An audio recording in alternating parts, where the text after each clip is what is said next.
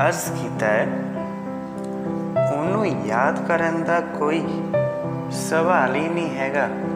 ਉਹਨੂੰ ਯਾਦ ਕਰਨ ਦਾ ਕੋਈ ਸਵਾਲ ਹੀ ਨਹੀਂ ਹੈਗਾ, ਕਿਉਂਕਿ ਉਹਦੇ ਕੋਲ ਮੇਰੇ ਪਿਆਰ ਦਾ ਵੀ ਕੋਈ ਜਵਾਬ ਨਹੀਂ ਹੈਗਾ। ਉਹਨੂੰ ਯਾਦ ਕਰਨ ਦਾ ਕੋਈ ਸਵਾਲ ਹੀ ਨਹੀਂ ਹੈਗਾ, ਕਿਉਂਕਿ ਉਹਦੇ ਤੇ ਉਹਦੇ ਪਿਆਰ ਤੱਕ ਜਾਣ ਦਾ ਕੋਈ ਰਾਹ ਵੀ ਨਹੀਂ ਹੈਗਾ।